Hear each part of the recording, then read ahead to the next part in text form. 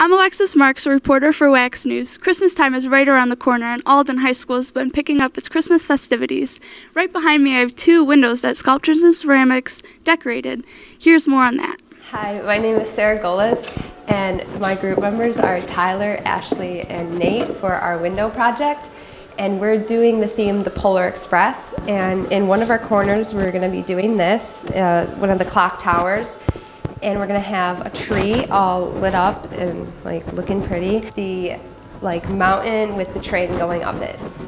Hi, um, I'm Emma Balava and my partner is Mary Foster for the Window Project. Um, our theme is like a ballerina Christmas, so we're gonna have um, ballerinas decorating a tree and wrapping presents in like a Victorian style house. So this is our um, backdrops. This is gonna be like the back wall of the house.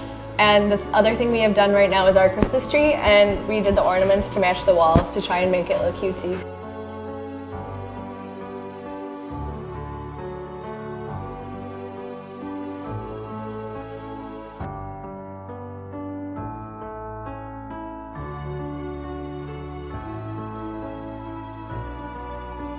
I'm Savannah and I'm in a group with Lexi and Kyle and our theme is an amusement park and it's supposed to be based on having a childhood memory of going to like the amusement park and how our center is supposed to be a big Ferris wheel because that's like the first thing you see when you walk into an amusement park.